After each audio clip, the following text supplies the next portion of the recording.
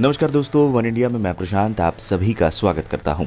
श्रीलंका के खिलाफ गोल में खेली जा रही दो मैचों की टेस्ट सीरीज़ में इंग्लैंड के कप्तान जो रूट ने शानदार दोहरा शतक जमा दिया है। मैच के तीसरे दिन बल्लेबाजी करते हुए इंग्लिश कप्तान ने पंद्रह चौकों और एक छक्के की सहायता से अपने करियर का चौथा दोहरा शतक पूरा किया।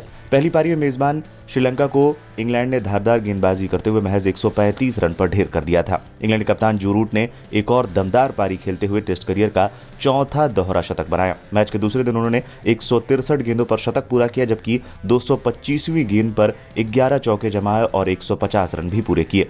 दूसरे दिन का खेल खत्म होने तक रूट एक सौ अड़सठ रन पर नाबाद बल्लेबाजी कर रहे थे। तीसरे दिन दूसरे सेशन में उन्होंने अपना दोहरा शतक पूरा किया। दो गेंद पर पंद्रह चौकों और एक छक्के की मदद से रूट ने यह खास पारी को अंजाम दिया। इंग्लैंड कप्तान जो रूट ने टेस्ट क्रिकेट में अपना चौथा और एशिया में पहला दोहरा शतक बनाया है। श्रीलंका के खिलाफ ये उनका दूसरा दोहरा शतक है। पहला उन्होंने घर पर खेलते हुए लगाया था। टेस्ट में अपना पहला दोहरा शतक भी रूट ने श्रीलंका के खिलाफ ही 2014 में लॉर्ड्स के मैदान पर लगाया था।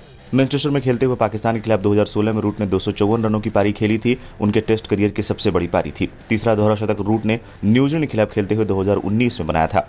इस शतक की खासियत ये रही थी कि ये हैमिल्टन में जमाया गया था। फ़िलहाल के लिए इस वीडियो में इतना ही। तमाम स्पोर्ट्स अपडेट के लिए बने रहे वन इंडिया के साथ।